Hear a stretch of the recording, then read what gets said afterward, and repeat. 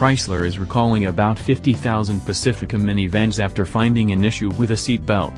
According to the NHTSA recall notice, in certain passenger seating and vehicle situations, the second row center seating position seat belt buckle could cause the left outboard seat belt to become unlatched.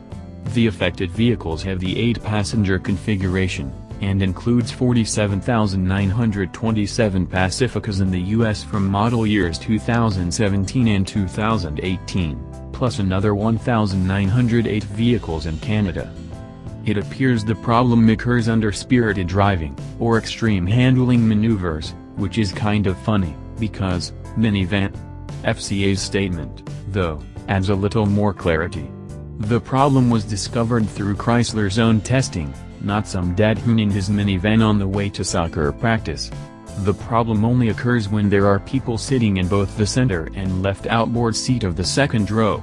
In hard cornering, the left seat belt's release button would come into contact with the center buckle, which caused it to unlatch.